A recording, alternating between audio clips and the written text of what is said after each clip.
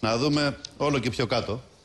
Εδώ είμαστε λοιπόν. Ανεβαίνει κανείς; Σημαντική πτώση πραγματικά στους αριθμούς. Είναι Μεγαλύτερη του κυρίου Τσίπρα. πτώση των, ε, είναι συνολικά πτώση με εξαίρεση τη δημοτικότητα του κ. Μιχαλολιάκου που ήταν όμως πολύ χαμηλά. Ναι. Πιστεύω, υπάρχει Ε, ωριακά πράγματα, ναι. αποδυνάμωση της εικόνας των πολιτικών αρχηγών που είναι συνολικά ένας δείκτης του γενικού πολιτικού κλίματος. Και θα έλεγα ε, σ- ένα συμπέρασμα που προκύπτει από όλη την έρευνα είναι ότι ε, επιστρέφει ένα κλίμα αντικομματισμού και αντιπολιτι... αντιπολιτικής. έτσι. Γενικό, λες, Αυτό συνολικό. είναι ευρύτερο συμπέρασμα. Νομίζω ότι υπάρχει ένα τέτοιο κλίμα. Όχι στα επίπεδα που είχαμε γνωρίσει πριν το Μάιο πέρυσι, αλλά ε, ανακα... επανέρχεται, ανακάμπτει.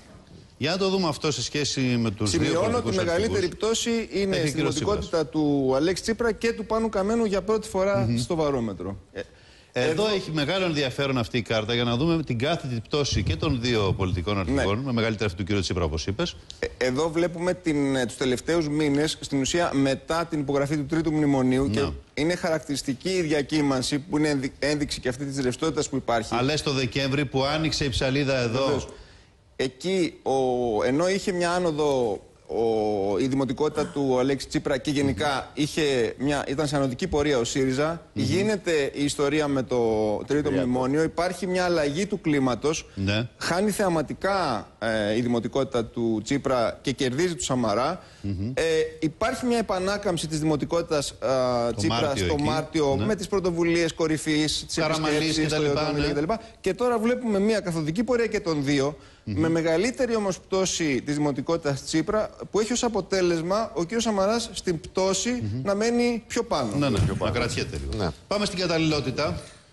Εδώ λοιπόν, αυτό το είχαμε δει και, στην προηγ- και στο προηγούμενο Άρα είναι βαρόμετρο. κανένα. Το είχαμε δει στο προηγούμενο βαρόμετρο. Δεν αλλάζει η σχέση των δύο. Δηλαδή παραμένει κυρίαρχος ο νυν πρωθυπουργός απέν- έναντι του ανθυποψηφίου του, αλλά ανεβαίνει το ποσοστό της απορριπτικής Σωστά. στάσης που περνάει ξανά α, Περνάει δεύτερο. το 30%. Έχουμε δει και πολύ χειρότερα ποσοστά ιστορικά τα τελε- τελευταία πενταετία, αλλά είναι ένα στοιχείο νομίζω πρέπει να επισημανθεί. Και βεβαίως η πτώση του, ε, του πρωθυπουργικού μεριδίου είναι συνεχής. Έτσι, βεβαίως. από τον Από Ιανουάριο, τον Δεν Ιανουάριο έχει- που ήταν αρκετά υψηλά, Υπάρχει έχει μια καθοδική επιδείνωση πορεία. σταδιακή. Σωστά. Το του- επόμενο έχει πολύ μεγάλο ενδιαφέρον, νομίζω, η δημοτικότητα των Τα πολιτικών κόμματα. κομμάτων, βέβαια. Εδώ Άστα υπάρχει πρόσωπα. μα, καθολική, πάλι με, με εξαίρεση Χρυσής Αυγής που όμως είναι στο 15 από το 11. Είχε μια πτώση την προηγούμενο Ναι, μήνα η έχει Χρυσή άνοδο. Αυγή.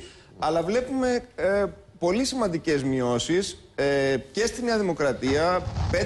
5% για το ΣΥΡΙΖΑ, τους ανεξάρτητους Έλληνες στη Δημάρ. 2% για το Κομμουνιστικό Κόμμα, το οποίο έχει και συνέδριο και θεωρητικά θα είχε ένα λόγο να είναι στην επικαιρότητα. Ακόμα και για Αυτό το που Πασόκ. το αποδίδεις, Γιάννη. Πιστεύω αυτό, ότι το υπάρχει μια αντικομματικό. δυσαρέσκεια από το κομματικό σύστημα ξανά. Φαίνεται ότι η διαχείριση δεν, δηλαδή δεν, δεν αποδίδει η διαχείριση που γίνεται. Υπάρχει ανασφάλεια. Ήρθε και η Κύπρος και επικαθόρισε τη- το πολιτικό κλίμα και αυτό αντανακλάται ευθέως στην εικόνα των κομμάτων. Πάμε τώρα στην. ε, Α, έχουμε την κάρτα Νέα Δημοκρατία και ΣΥΡΙΖΑ. Να τη δούμε την επόμενη. Δημοτικότητα, η σχέση των δύο δηλαδή. Εντάξει, πάλι Η βλέπουμε την διακύμανση. αντίστοιχη διακύμανση. Εδώ βέβαια πέφτει περισσότερο η Νέα Δημοκρατία και αυτό είναι χαρακτηριστικό. Ε, στην ουσία έχουμε δύο κόμματα, θα, θα το δούμε και στην ψήφο, τα οποία ε, δεν ξεπερνάει κανένα από τα δύο την επιρροή του 30%. Και αυτό είναι ένα και νέο στοιχείο στο κομματικό μας σύστημα. Με διαφορετικά χαρακτηριστικά όμως το κάθε ένα από αυτά και θα πω ορισμένα πράγματα στη συνέχεια. Θα, θα έλεγα να περάσουμε τις δύο επόμενες κάρτες να πάμε γρήγορα στην παράσταση νίκης για να προλάβουμε για να τα σχολιάσουν και οι πολιτικοί μας που έχει σημασία νομίζω.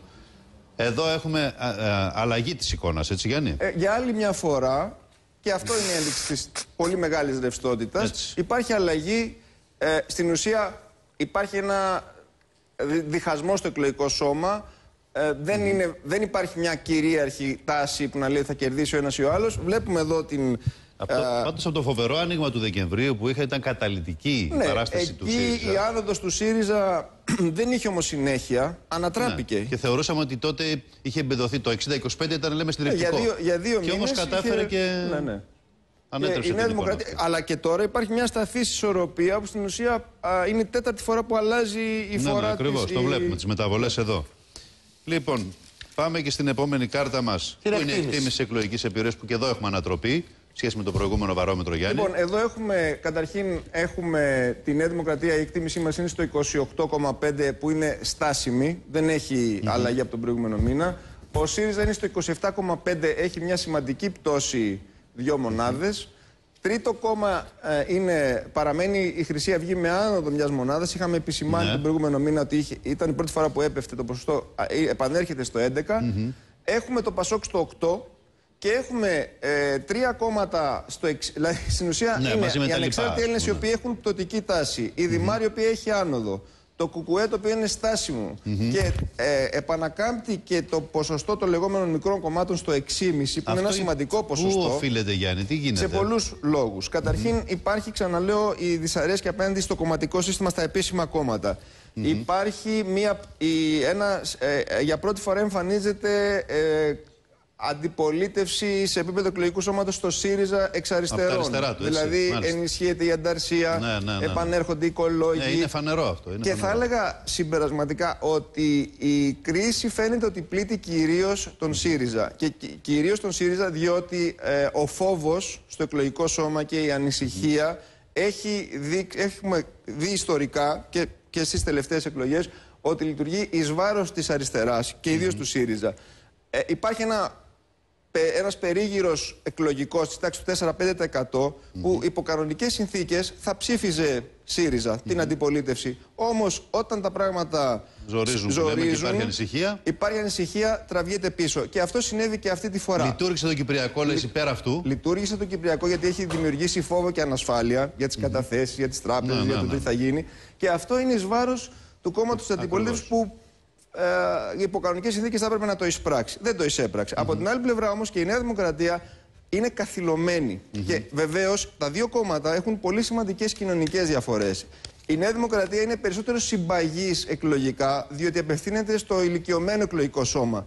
Αντίθετα, ο ΣΥΡΙΖΑ, ο οποίος είναι στα πιο δυναμικά στρώματα αλλά και στα πιο νεα- νεανικά, έχει τελικά με, είναι πιο ευάλωτος σε διακοιμάσει Ακριβώς. συγκυρίας. Φαίνεται ότι δεν μπορεί να συγκρατήσει εύκολα αυτό το εκλογικό σώμα το οποίο τον έχει Δεν είδαμε, προσεγγίσει. Γιάννη, και τα σημαντικά ευρήματα για την Ευρώπη και για το ευρώ που είναι. Βεβαίως. ε, δεν προλάβαμε τώρα, γι' αυτό το λέω να τα βάλεις στο σχολείο σου στο κλείσιμο. Ναι, πρώτη φορά διαμορφώνονται σοβαρά, με, με, ε, με σοβαρούς όρους αντιευρωπαϊκές και καθολικά αντιγερμανικές στάσεις στο εκλογικό σώμα. Έχει διαβρωθεί, θε- νομίζω ότι είναι σοβαρή η αποδόμηση Οριζόντια. των φιλοευρωπαϊκών διαθέσεων. Ε, όχι, υπάρχουν κομματικές διαφοροποίησεις, αλλά πρώτη φορά αμφισβητείται σοβαρά η...